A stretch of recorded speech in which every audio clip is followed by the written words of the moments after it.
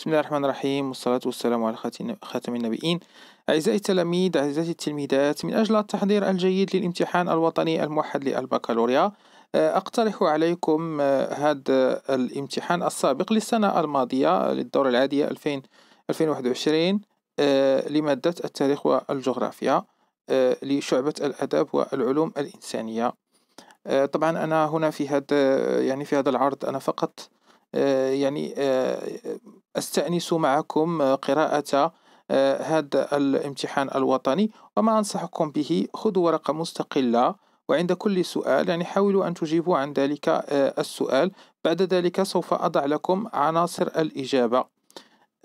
بعض التلاميذ يقولون لي أنه لا فائدة من هذا العمل يعني هذا الفعل العمل الذي أقوم به ليس فيه فائدة. أكيد طبعا يعني هناك تلاميذ لا يحتاجون إلى هذا العمل. يعني قد يتوفر لديهم الامتحان الوطني وينجزونه أو يطالعونه فقط. إنما ما أقوم به يعني هو في الواقع يعني أساسا كان بطلب من بعض التلاميذ فأنا أستأنس معهم قراءة الامتحان الوطني. يعني قد يأتيكم الأمر غريبا أن هناك بعض التلاميذ يعني يجدون أحيانا الملل الملل يجدون حتى صعوبة في قراءة أو أو مطالعة الامتحانات السابقة. آه، يأتيهم الملل يأتيهم لا, لا أدري يعني لا يوجد هناك يعني أنا ما أقوم به هنا. هو الاستئناس مع التلميذ في مراجعته للامتحانات السابقة يعني من خلال هذا العرض أو هذا الفيديو. فقط يعني وطبعا هذا مفيد لبعض التلاميذ. تلاميذ آخرين يرون أن هذا العمل ليس بما أنني لا أشرح طبعا من الصعوبة بمكان أن أقوم بشرح كل تمرين على حدة. هذا سيأخذ وقت طويل. ويحتاج إلى برنامج يعني يحتاج إلى برنامج عمل لشرح مختلف الدروس ويعني القيام بتمارين مرتبطة بالتاريخ والجغرافيا. لذلك أنا فقط من باب الاستئناس فقط من باب الاستئناس يعني أعرض عليكم يعني أعرض الامتحان الوطني الموحد للبكالوريا أطلب منكم أن تأخذوا ورقة مستقلة وتجي يعني عندما آه، أقرأ كل سؤال خذوا ورقة مستقلة وضعوا بوز وحاولوا أن تجيبوا عن ذلك السؤال يعني من باب التمرين آه، ثم استمروا في الفيديو حتى أعرض الامتحان كاملا. آه، طبعا يعني ينبغي على التلميذ أو المرشح للبكالوريا يعني أن يطلع على الامتحانات السابقة من باب التحضير الجيد لكي لا يتفاجأ بأسئلة من طبيعة مختلفة. لأن في الغالب شكل شكل تقديم الامتحان هو نفسه. الاختلاف يكون في ماذا يكون في أحيانا هناك دروس يعني يعتمدون عليها في الامتحان ودروس أخرى. يعني يعني ربما هناك مسألة التناوب وأحيانا الدروس اللي هي أكثر أهمية. يعني أنتم مطالبون بالبرنامج كامل. أنتم مطالبون بالبرنامج كامل ولكن الذي يضع الامتحانات يعني في الواقع ينبغي أن تعرفوا كيفية وضع الامتحان. يعني آه، هناك آه، آه، من ثلاث إلى خمس امتحانات. من ثلاث إلى خمس امتحانات يتم تقريرها. وهذه الامتحانات يعني تأتي على الدروس كاملة. ولكن في في في الأخير ربما عن طريق القرعة أو عن طريق الاختيار آه، يختارون امتحانا واحدا هو الذي يتم طبعه وإرساله إلى مختلف الأكاديميات. آه، بالتالي فأنتم مطالبون بجميع الدروس تراجعون جميع الدروس آه، ولكن شكل طريقة تقديم الامتحان هي نفسها هي نفسها. إذا نبقى الآن مع هذا الامتحان الوطني الموحد. إذا نبتدئ بمادة الجغرافيا وعليها عشر نقاط عشرة على عشرة. إذا مادة الجغرافيا الاشتغال بالوثائق. اقرأ بتمعن الوثائق الأربع الآتية لإنجاز المطلوب. إلى لدينا الوثيقة واحد. نصيب القوى الاقتصادية الكبرى من صادرات وواردات المواد المصنعة عالميا سنة 2017 إذا كما تلاحظون لدينا القوى الاقتصادية الأهم في العالم. الاتحاد الأوروبي الولايات المتحدة الأمريكية الصين واليابان. إذا كما تلاحظون صادرات الاتحاد الأوروبي 38.9% آه، والواردات إليه هي 32.8% آه، الولايات المتحدة الأمريكية صادراتها 9.4% والواردات إليها 14.1% الصين صادراتها 17.8% والواردات إليها 8.9% اليابان صادراتها تقلصت إلى 5% والواردات إليها أيضا تقلصت أيضا. إلى 3.1% مقارنة بالسنوات الأخرى طبعا. إذا مصدر هذا هذا الجدول آه، مصدر هو OMC آه، آه، ما هي OMC هي المنظمة العالمية للتجارة Organisation Mondiale de Commerce. إذا هذا هو المصدر مصدر لسنة 2018 إذا هذه الوثيقة واحد. ثم لدينا الوثيقة جوج. الوثيقة جوج هي عبارة عن نص. إذا تعتبر الولايات المتحدة الأمريكية أول مستورد وثاني مصدر للسلع في العالم، كما أنها المصدر الأول عالميا للخدمات رغم أن التجارة لا تمثل سوى 27.5% من ناتجها الداخلي الخام. وتتركب صادراتها الأساسية من زيوت النفط المكرر والسيارات وقطع الغيار والدارات الإلكترونية المدمجة والهواتف النقالة ثم الخدمات المالية وخدمات النقل. أما وارداتها الأساس فتشمل السيارات والنفط الخام وأجهزة الهاتف والحواسيب وقطع الغيار وخدمات النقل وخدمات أخرى لفائدة المقاولات. ولا تشكل كندا والمكسيك والصين واليابان والمملكة المتحدة وتشكل كندا تشكل كندا والمكسيك والصين واليابان والمملكة المتحدة. شركاء الولايات المتحدة الأمريكيين آه، الأمريكية آه، شركاء الولايات المتحدة التجاريين الأوائل. كما يسجل الميزان التجاري للولايات المتحدة الأمريكية وضعية سالبة حيث قدر العجز التجاري ب 887.3 مليار دولار. لكنه تراجع نسبيا ولأول مرة منذ 2013 نتيجة سياسة, سياسة الحماية الجمركية التي طبقها الرئيس ترامب ضد الواردات القادمة من الصين. إذا تاريخ الاطلاع على هذا النص النص هذا النص هو آه، متوفر في الإنترنت. آه، كما تلاحظون آه، يعني من عنوان هذا عنوان إنترنت https slash double slash dot oecd.org slash fr slash etaune.htm إذا تاريخ الإطلاع هو 16 جوج 2021 إذا هذا النص متوفر على الإنترنت. إذا كما تلاحظون هذه وثيقتان ولدينا الوثيقة الثالثة. سجلت الصناعة الغذائية في فرنسا زيادة طفيفة في الإنتاج بنسبة 0.3% وخاصة في قطاع الفواكه والخضروات والمشروبات والحليب. وتعزى هذه الزيادة إلى ارتفاع الطلب الداخلي والخارجي على هذه المنتجات بينما تراجع الإنتاج نسبيا في قطاع اللحوم ومشتقاتها والأسماك والسكريات بسبب تناقص الطلب الداخلي ومنافسة المنتجات الإيطالية والإسبانية والهولندية. وقد حقق الميزان التجاري للصناعات الغذائية فائضا بلغ 5.9 مليار أورو وذلك بفضل زيادة نسبة الصادرات ب 6.7% مقابل 6.2% للواردات. إذا هذا المصدر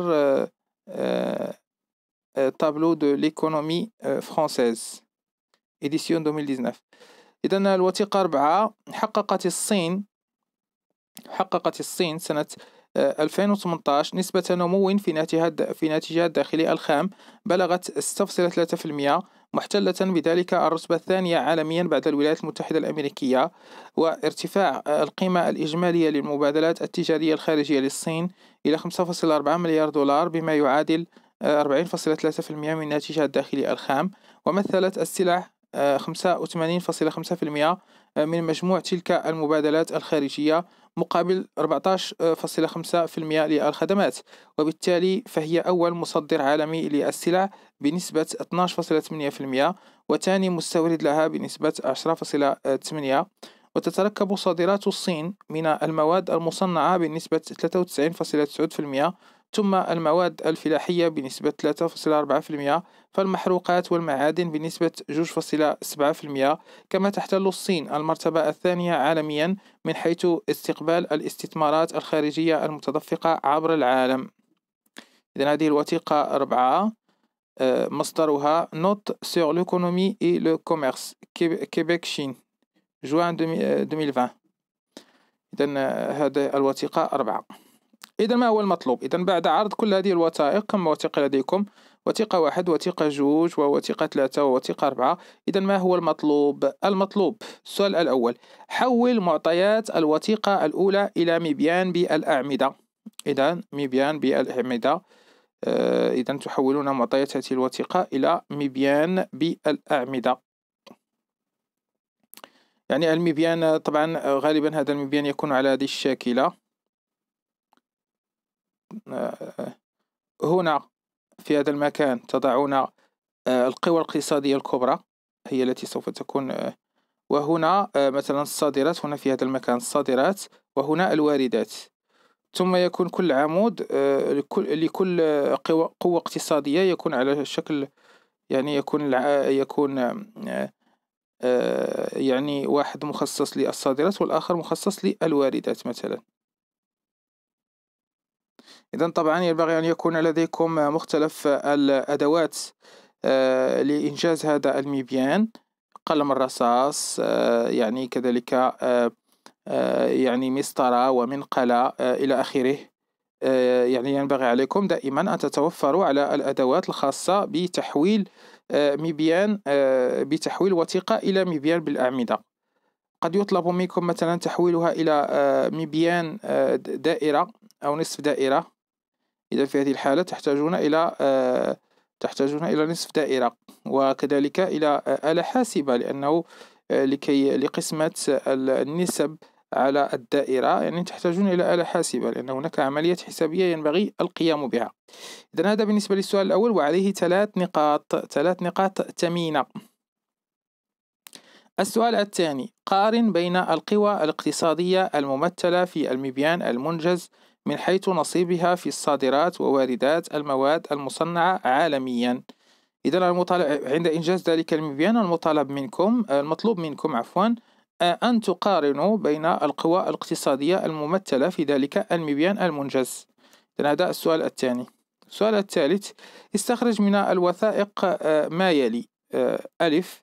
من الوثيقة جوج مظاهر القوة التجارية للولايات المتحدة الأمريكية ووضعية ميزانها التجاري مع تفسير هذه الوضعية. يعني إذا من الوثيقة جوج سوف تستخرجون هذه المظاهر. يعني وهذا السؤال يعني تقريبا مجاني لأنه يعني أنتم مطلوب منكم فقط أن تستخرجوا ما يوجد آه، في تلك آه، آه، الوثيقة مع تفسير تلك الوضعية مع تفسيرها. إذا هذا من الوثيقة هذا السؤال ألف ثالثا ألف.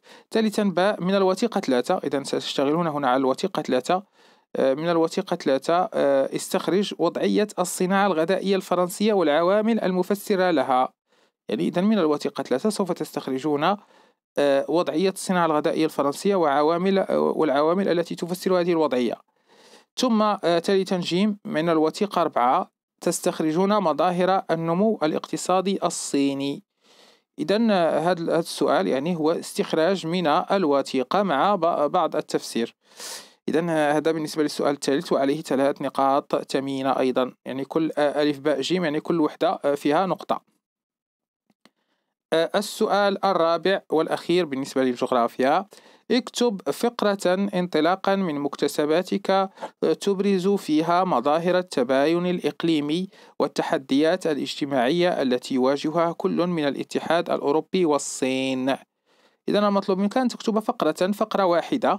فقرة واحدة تبين فيها مظاهر التباين آه، يعني الاختلاف الإقليمي والتحديات الاجتماعية التي يواجهها كل من الاتحاد الأوروبي والصين.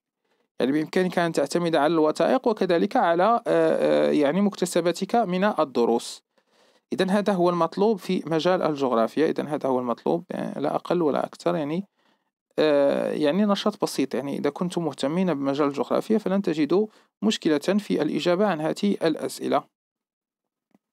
ننتقل الآن إلى التاريخ مادة التاريخ. إذا مادة التاريخ فيها موضوع مقالي. إذا دائما إذا كان إذا كان الجغرافيا آه، اشتغال على وثائق فالتاريخ يكون موضوعا مقاليا. إذا كان أحيانا يكون التاريخ هو الاشتغال على الوثائق يكون التاريخ اشتغال على الوثائق وبالتالي تكون الجغرافيا موضوعا مقاليا. إذا مادة التاريخ؟ هي موضوع مقالي. اكتب حسب اختيارك في واحد من الموضوعين الآتيين. إذا دائما في جميع الامتحانات جميع الموضوعات المقالية يكون هناك اختيار بين آه، موضوعين. إذا الموضوع الأول الموضوع الأول شهدت الديمقراطيات الليبرالية الأوروبية بعد الحرب العالمية الأولى أزمة سياسية واقتصادية واجتماعية أدت إلى قيام آه، أنظمة ديكتاتورية ساهمت في اندلاع الحرب العالمية الثانية. اكتب إذا ماذا يعني ذلك؟ يعني أن الموضوع هو حول الحرب العالمية الثانية. اكتب موضوعا مقاليا تبرز فيه ما يأتي. النتائج السياسية للحرب العالمية الأولى.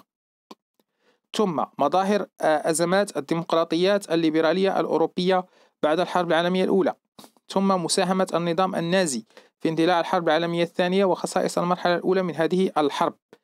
يعني إذا الموضوع هو حول نتائج الحرب العالمية الأولى آه، نتائج الحرب العالمية الأولى وبداية اندلاع الحرب العالمية الثانية. إذا يعني ربما يعني يمكن القول بأن موضوع هذا آه، هذا الموضوع هو مرتبط بما بين الحربين. الحرب العالمية الأولى نتائج الحرب العالمية الأولى وما بين الحربين ما بين الحرب العالمية الأولى والحرب العالمية الثانية.